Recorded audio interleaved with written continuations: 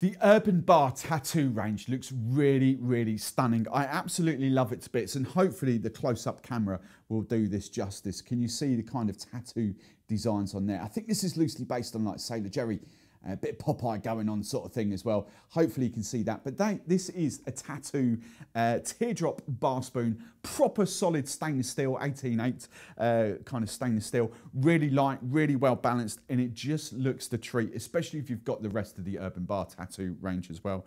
So this is the bar spoon. Let me just give you one quick, hopefully closer up of that so you can see what's going on. And the whole design goes all the way down the spoon as well. It looks really, really awesome. So that's part of the Urban Bar Tattoo uh, bar set. Honestly, it's really cool and it's top quality stuff as well.